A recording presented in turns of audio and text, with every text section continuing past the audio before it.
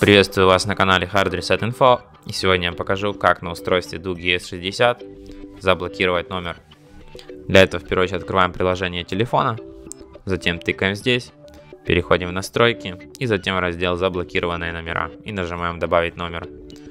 И вписываем здесь номер телефона, который мы хотим заблокировать, нажимаем заблокировать и больше данный номер к нам не дозвонится. И на этом все. Спасибо за просмотр, подписывайтесь, ставьте лайки и пока.